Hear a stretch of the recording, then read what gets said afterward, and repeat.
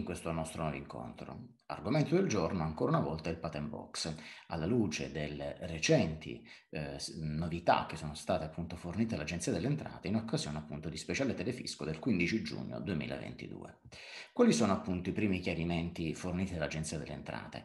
Beh, ehm, i primi orientamenti che vengono ehm, forniti appunto dall'Agenzia riguardano il, eh, i meccanismi di passaggio appunto fra i due regimi, il discorso appunto del rapporto inerente i brevetti e i titoli privati derivativa la questione del passaggio di regime e le correlate perdite e il rapporto del eh, CRIO d'imposta ricerca e sviluppo con il eh, rinnovato patent box. Passiamo, partiamo subito appunto ecco, dal primo argomento, ovvero eh, i meccanismi di passaggio fra i due regimi.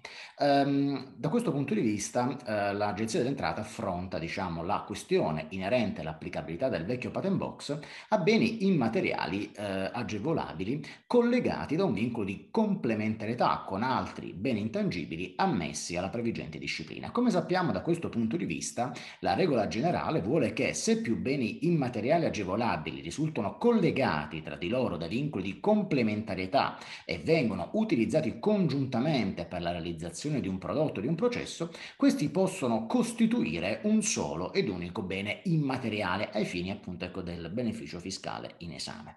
Da questo punto di vista l'Agenzia delle Entrate conferma l'orientamento già espresso appunto ecco, nel provvedimento provvedimento attuativo del nuovo patent box, ovvero che i contribuenti non possono accedere al vecchio patent box neanche relativamente ai beni complementari, a decorrere dal periodo di imposta in corso al 28 dicembre 2021.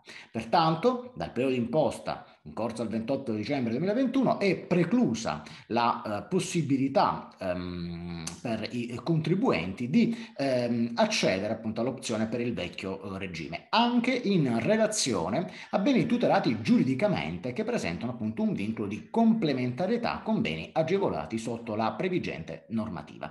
Da questo punto di vista, quindi, Diciamo ecco, per questi eh, nuovi beni sarà possibile eh, optare unicamente per la nuova eh, disciplina agevolativa e questo porterà ad una condizione diciamo, di coesistenza tra il vecchio regime operante fino al termine appunto ecco, del quinquennio di validità e il nuovo regime eh, sui beni complementari. L'altro argomento riguarda l'individuazione del momento rilevante ai fini appunto ecco, della nuova eh, agevolazione. Da questo punto di vista eh, il eh, nuovo patent box, a differenza appunto di quella che era la vecchia eh, disciplina, prevede che appunto non vengano eh, riconosciuti come ammissibili i brevetti in corso di concessione, ovvero quelli per i quali sia stata depositata la domanda di rilascio di, del brevetto, ma non sia stato ancora emesso il relativo titolo appunto ecco, di ehm, di privativa.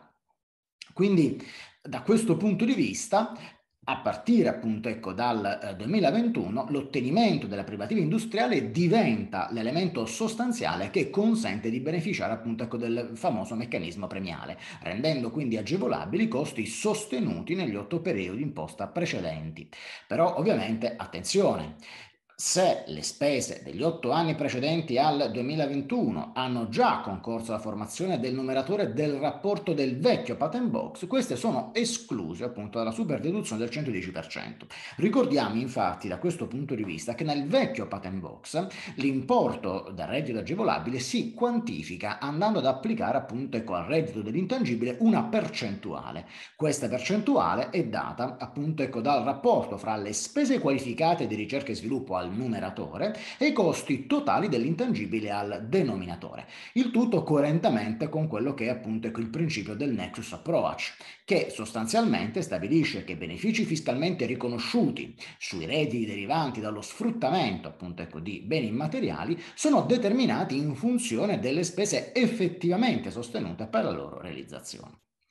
Altro argomento affrontato riguarda appunto ecco, il um, rapporto appunto ecco, tra uh, il passaggio di regime e le perdite. Da questo punto di vista l'Agenzia delle Entrate chiarisce che i due regimi appunto ecco, sono differenti fra di loro e pertanto non è possibile estendere al nuovo regime la valenza delle perdite generate dal vecchio che quindi presenta, come sappiamo, appunto delle modalità applicative completamente differenti rispetto al primo.